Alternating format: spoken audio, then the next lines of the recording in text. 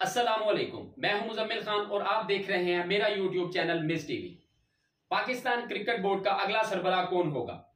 Pakistan cricket board के chairman Ramiz Hasan Raja कब तक पाकिस्तान क्रिकेट बोर्ड के मसनद पर बराजुमान रहेंगे?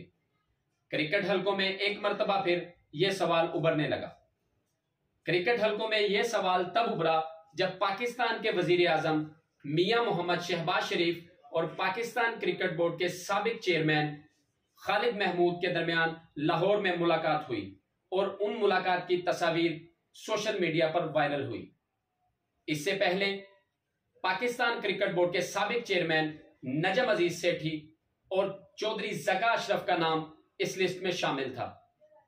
पाकिस्तान के वज़ीर आज़म मियाँ मोहम्मद शहबाज शरीफ और पाकिस्तान क्रिकेट बोर्ड के सबक चेयरमैन खालिद महमूद की मुलाकात के बाद इस बात को तकवीत मिली है कि क्या पाकिस्तान क्रिकेट बोर्ड में कुछ तब्दीली हो सकती है या नहीं?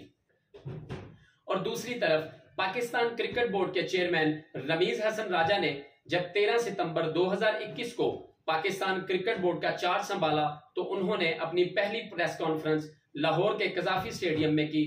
उन्होंने उस वक्त के वज़ीर आज़म इमरान खान का शुक्रिया अदा किया और साथ उन्होंने ये भी कहा कि हम जानते हैं कि इमरान खान कितना बड़ा लीडर है, क्योंकि हमारे लिए अभी भी ये फ़ैन मूवमेंट है।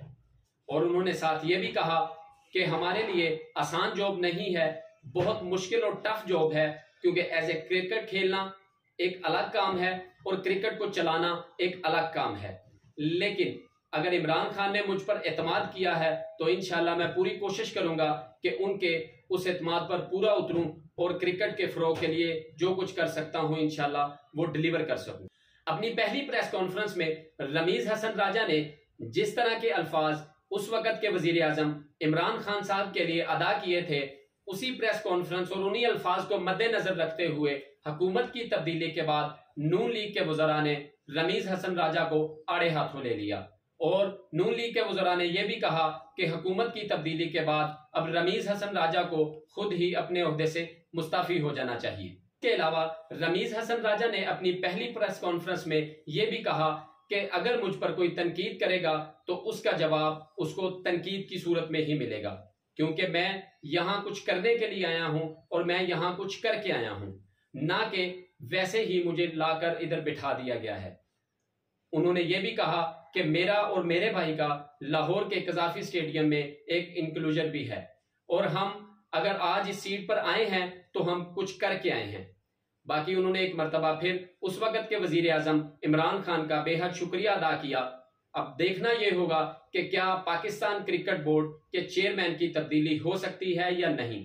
इसके अलावा पाकिस्तान क्रिकेट के हवाले से कोई भी इंफॉर्मेशन अगर हम तक पहुंचेगी तो वो हम आपको पहुंचाएँगे अपने चैनल मिस टीवी की बदौलत।